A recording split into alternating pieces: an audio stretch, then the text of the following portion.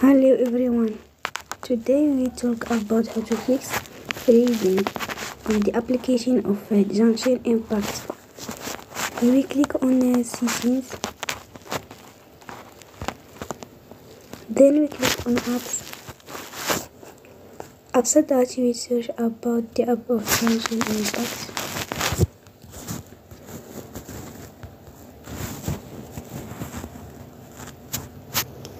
Then we go to full stop and we click OK.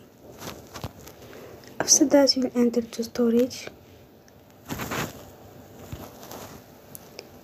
Then we click on uh, clear cache.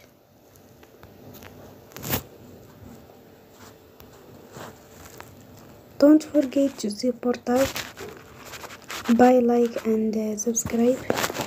See you next time and uh, thank you for your attention.